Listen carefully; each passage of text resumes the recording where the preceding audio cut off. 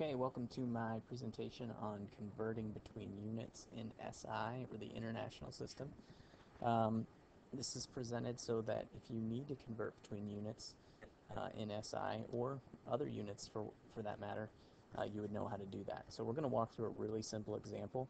Uh, let's say you wanted to know how many meters are equal to 163 centimeters.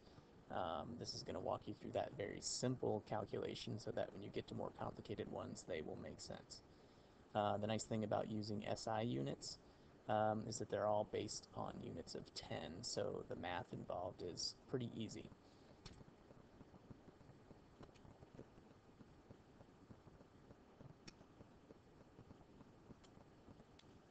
So the first method, which is the one that I prefer, uh, it's called the factor label method, or you might hear it called dimensional analysis. Um, I prefer it because it can work with any conversion, not just metric. It's a great way to set up any sort of conversion problem, and I really think you will benefit if you learn it. So the way we would start with factor label method is you need to know the relationship between the two units. In this case, we want to go to meters from centimeters, so we need to know how many centimeters equal one meter. And of course, in this case, it is 100 centimeters in one meter.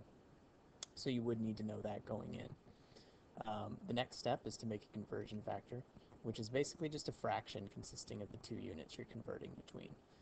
So when you set up this fraction, you always want the unit that you're trying to replace on the bottom of the fraction, and uh, you will see why in just a moment. So the proper conversion factor here for this example would look like 1 meter over 100 centimeters because our original measurement was 163 centimeters and we would like to um, end up in meters. So um, what it's going to look like when you set it up, you take your original measurement and you multiply by your conversion factor.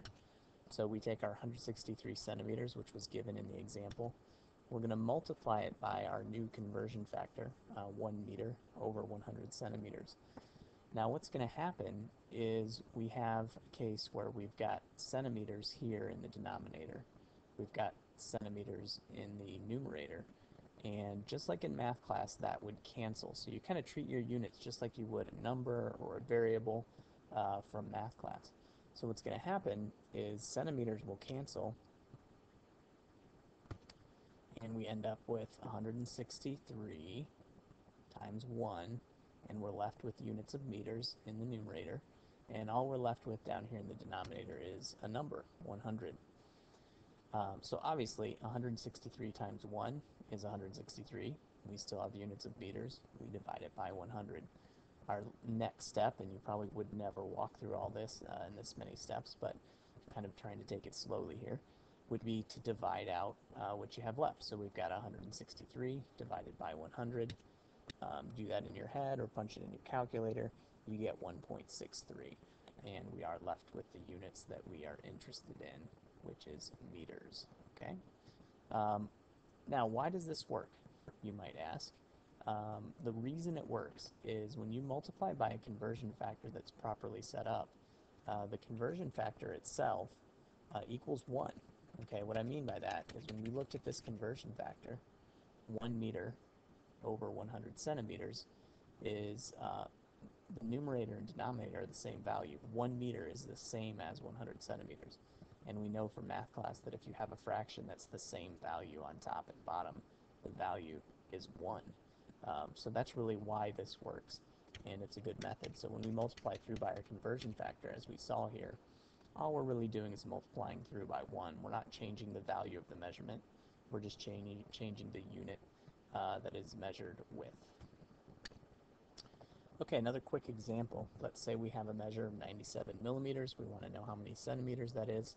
Again, you're going to need to know the relationship between our units of interest, and before you even worry about that, you might want to set up your conversion factor with the units uh, in the proper location. So I would want millimeters on the bottom or in the uh, denominator of this fraction because I want it to cancel. I want millimeters to go away and I want to end up in centimeters. So I already know centimeters is going to go on the top. Now again, you have to know something about the unit system. Um, hopefully if you've studied SI units a little bit or you just think about a ruler, you think about a centimeter, which is about the width of your pinky finger maybe, and there are 10 little marks inside, uh, that would be millimeters. So our conversion factor is 1 centimeter over 10 millimeters. Um, once you have that set up, it's just a matter of doing the math. So we can cancel millimeters. We're left with 97 times 1 on the top, which of course is 97, with our unit that remains, centimeters, divided by 10.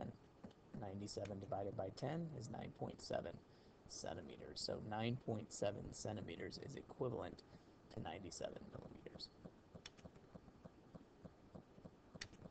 Now there is another method um, that a lot of students learn along the way called the stair-step method. Um, I don't really prefer this one. It's a little bit simpler, but it only works for SI units, and it's only going to work if you're converting between units between kilo and milli. Um, so keep that in mind. It's a little bit limited. If you wanted to use this method, you would need to know the base units uh, between kilo, a kilo, and milli. And those going up from the base unit uh, would be deca. That means 10 of the base unit. Hecto means 100 of the base unit.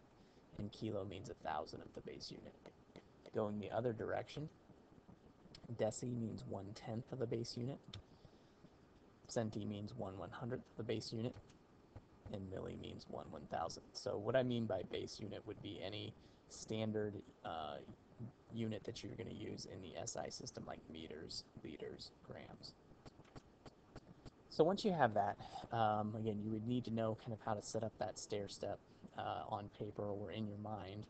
Uh, and you're going to move along the stair step to the stair step that has the unit you would like to convert to. So in our original example, where we wanted to go from 163 centimeters to meters, um, we would have to travel two steps up the stairway. What I mean by that is we're uh, starting at a measure in centimeters right here,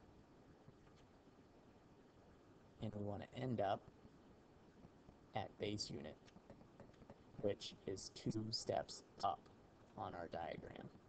So if we move upstairs, the rule is move your decimal place to the left. If we move down the stairs, the rule is to move your decimal place to the right, which corresponds to the way that I've drawn the diagram on the screen. So we start with our original measurement, 163 centimeters. We don't see a decimal point there, but we really know that it is here after the units place, it's implied. And we moved two spaces to the left, so we need to move one, two spaces to the left in the number, which we started with, 163. The decimal place ends up here, between the 1 and the 6, and we end up with 1.63 meters. Okay, so again, it's a little bit of a trick. Uh, what you're really doing there is just dividing by 100, which is what we did in the factor label method. So again, uh, it's going to work specifically for SI units only, uh, but I did want to put that in my presentation because I know a lot of you have seen that before. Thanks for listening.